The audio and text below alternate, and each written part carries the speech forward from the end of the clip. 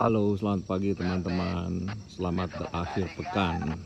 Pada pagi hari ini, saya mengupload satu buah handy trans transceiver VHF Kenwood ini PHK 20 FM transceiver Handy transceiver ini adalah masih made in Japan diproduksi kurang lebih beberapa tahun yang lalu. Dan harga pasaran saat ini sekitar 1,8 lah untuk unit yang baru ya. Tapi ini masih Japan made ini ya. Simple untuk penggunaan dan untuk suara juga bagus sekali nih. Cukup baik.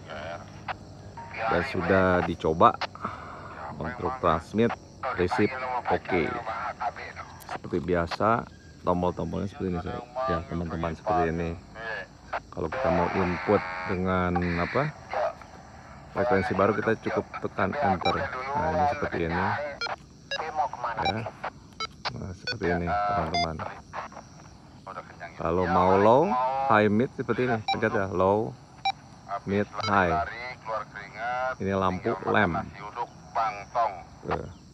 Ya. Olahraga di mana itu? Pemda? Menu. Selamat pagi. Banyak. Ada beep ada split duplex simplex itu bisa dipakai di menu. Dan sangat simpel penggunaannya. Simpel sekali. Rekomendasi untuk teman-teman semua. Demikian upload yang saya sampaikan. Semoga menambah wawasan perhatian kita semua di Indonesia. Terima kasih teman-teman. Selamat berakhir pekan. Have a blessed day.